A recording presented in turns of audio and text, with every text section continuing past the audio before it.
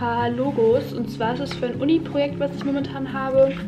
Das ist halt für eine Firma und die wollen ein Rebranding von ihrem Logo haben.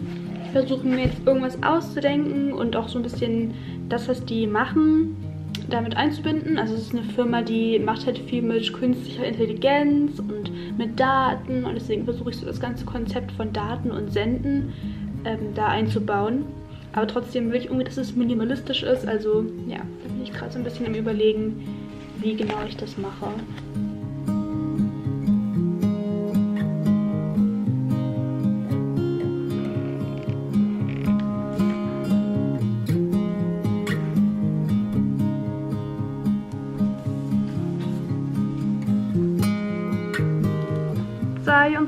Uhr.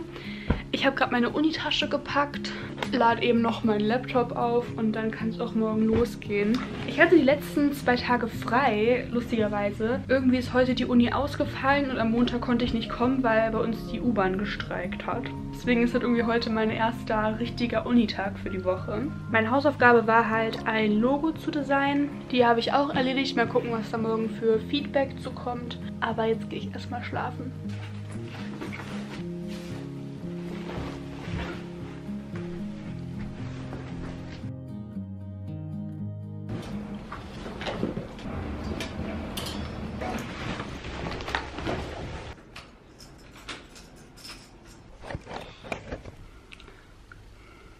Heute in der Uni haben wir größtenteils wieder an dem Logo gearbeitet. Also jeder macht ein eigenes Logo für die Firma. Und ich dachte mir, ich zeige euch mal den Designprozess, den ich jetzt zum Beispiel hatte und wie weit ich bin. Das sind meine Skizzen, die ich gemacht habe. Also der erste Schritt war einfach wirklich nur Brainstorm. Dann hier in meinem Skizzenbuch, das habt ihr gestern schon gesehen, habe ich das Ganze dann ein bisschen ordentlicher aufgeschrieben, beziehungsweise hier noch so ein paar Formen versucht ähm, zu definieren. Meine Lieblingsidee habe ich mir dann hier ähm, eingescannt und dann halt versucht, das in eine, Art Branding umzubauen. Dann habe ich versucht, eine Form mit reinzubringen. Habe das dann hier nochmal etwas minimalistischer designt. Eine andere Schriftart. Und dann bin ich da gelandet. Und dann habe ich hier nochmal Variationen davon gemacht. Aber ja, ich arbeite gerade an ein paar Hausaufgaben, die ich erledigen muss. Also das war jetzt eine davon. Und ähm, jetzt muss ich noch ein bisschen zum Thema Wireframing machen. Das sieht in etwa so aus. Und da muss ich mir jetzt eine eigene Idee zu überlegen.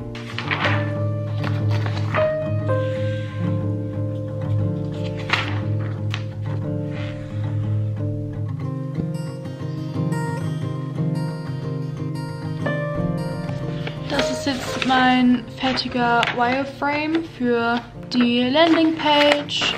Kategorien, aus denen man auswählen kann, Produkte innerhalb einer Kategorie und eine Produktansicht. Bevor man halt eine Website designt, muss man erstmal sich ein Wireframe, also so eine Art Aufbau erstellen, wo man einfach Ideen sammelt, wie das Ganze aufgebaut werden könnte, bevor man wirklich anfängt, das zu designen. Das ist wichtig, weil man muss sich ja vorher, bevor man das designt, erstmal richtig viele Gedanken machen, wie das Ganze eigentlich aussehen soll. Also wir sind immer noch hier bei der Planung.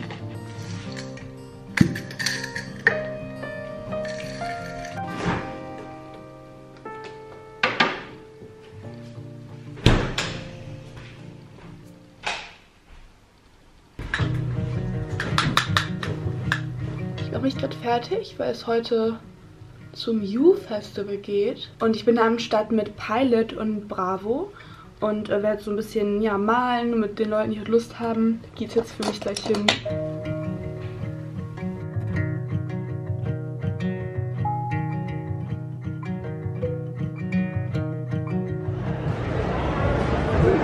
hier ist jetzt der Stand von Pilot. Und zwar habe ich für ein Wochenende lang den Pilot-Stand betreut und zusammen mit ganz vielen ja jungen kreativen Leuten, die Lust hatten, was zu gestalten, T-Shirts bemalt oder auch zum Beispiel Stoffbeutel. Und es gibt auch ein Gewinnspiel, wo man dann auf der Pilot-Seite ein selbstgestaltetes Bild hochladen kann von eben dem T-Shirt und dann kann man auch ganz viele coole Preise gewinnen. Heute ist Taxfly auf der Messe und wir haben hier auch schon richtig viele Leute. die wieder Lust haben, was zu malen.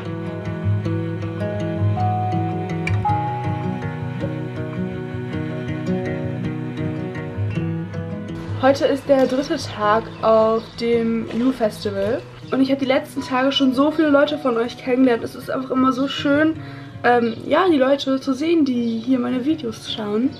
Ihr könnt die Stifte aber zum Beispiel auch auf verschiedenen Untergründen benutzen. Nicht nur auf Stoff, sondern auch zum Beispiel auf Porzellan oder Glas. Natürlich muss man die dann immer auch verschieden fixieren. Jetzt bei den T-Shirts hier zum Beispiel habe ich einfach drüber gebügelt. Und ich habe es heute auf jeden Fall an. Ich bin super happy. Ich habe es so ein bisschen gecroppt, sodass es eben auch so ein bisschen zum Festival-Look passt. Hier zum Beispiel hängt auch ein Beutel, den ich gemacht habe. Sieht so aus. Also wenn ihr coole Kreativmarker braucht, dann probiert ihr auf jeden Fall mal aus.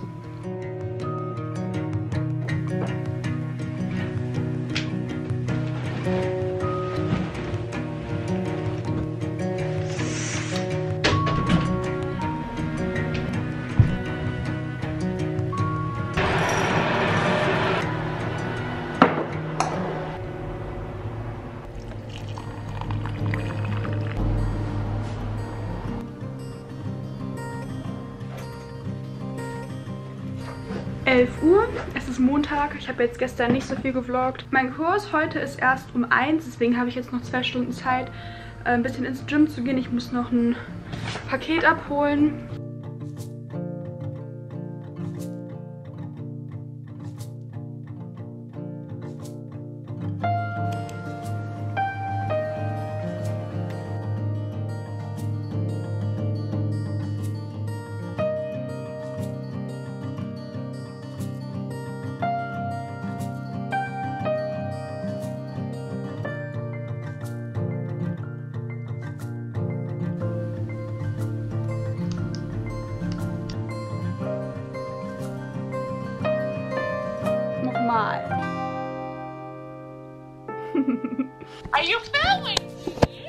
I've been filming the whole time. Wir sind jetzt mal kurz leise, ja. Ich muss meine Wireframes zeigen. Das ist also eine Art, wie man halt Wireframes machen kann. Hier zeigt man dann immer, wie man von der ersten bis zur zweiten Seite zur dritten Seite kommt. Und dann habe ich hier noch eine vierte Option. Einerseits hat also drei Variationen für ja, eine Idee, die ich hatte. Und die werden dann so miteinander verbunden. Where's my? Pencil! Where is it? Fertig für heute.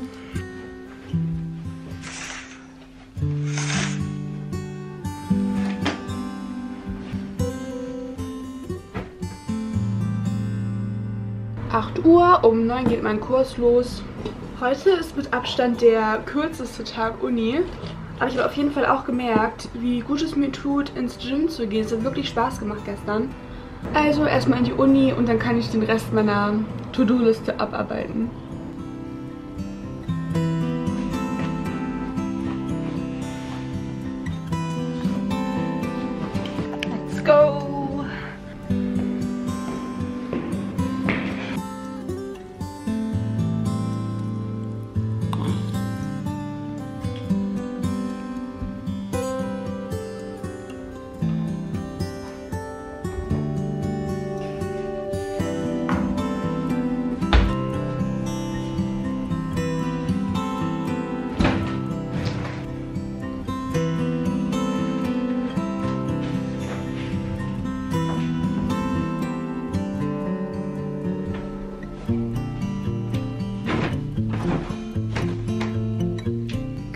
Keine Ahnung wieso, aber ich mache derzeit total oft Homeoffice im Bett. Aber hier kann man einfach ganz gut mit euch reden. Und ich habe ja ein paar Bücher, weil ich immer Fragen bekomme zum Thema Buch. Was lese ich so, was kann ich empfehlen? Vielleicht auch aus dem kreativen Bereich. Und ich würde sagen, es gibt so drei Arten von Büchern, die ich lese. Einmal Fiction, so Romantasy, Fantasy in die Richtung. Dann lese ich ähm, Buchbände, also ganz oft über so Künstler, ähm, dann gibt es so Selbsthilfesachen und dann so ein paar Themenbücher. Annie Liebowitz at Work ist ein Buch von der Fotografin Annie Liebowitz, die ganz viel für Vogue fotografiert, ganz ja, berühmte Porträts schon gemacht hat. Und das ist einfach quasi wie so eine Biografie, glaube ich. Also wer sich für Fotografie interessiert, ist schon irgendwo Must-Have. Dann lese ich momentan den dritten Teil von Das Reich der Sieben Höfe Und das ist jetzt hier schon der vierte. Jedenfalls, wenn ihr so Fantasy mögt und auch zum Beispiel so starke weibliche Hauptcharaktere, da das ist richtig cool. Die beiden Bücher, das habe ich online bestellt. Das habe ich, ich glaube, bei Urban Outfitters gefunden. Und das heißt Star Power. Das ist so Astrology und finde das an sich irgendwie interessant.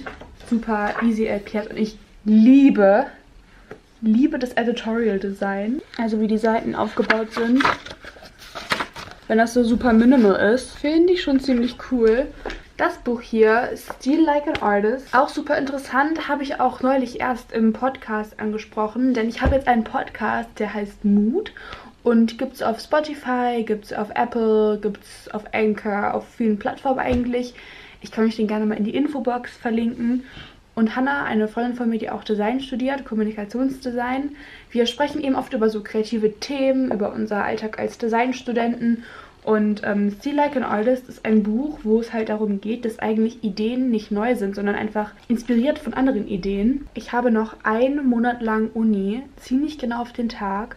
Da musste ich alle Designs abgeben ich bin jetzt schon super im Stress, aber kriegen wir irgendwie hin. Ich habe auf jeden Fall Lust, euch die letzten ja, Wochen, wenn es so richtig so in die heiße Phase geht, euch mitzunehmen. ich glaube, das ist immer so sehr interessant, weil da eben viele Designs auch final dann endlich mal zu sehen sind. Und gerade weil wir super viele Webseiten, Apps designen gerade, könnte das, glaube ich, sehr interessant sein. Deswegen lasst ihr auf jeden Fall einen Daumen nach oben, wenn ich das filmen soll. Abonniert den Kanal, um keine weiteren Videos mehr zu verpassen. Und dann sehen wir uns auch hoffentlich im nächsten Video. Bis dann. Tschüss!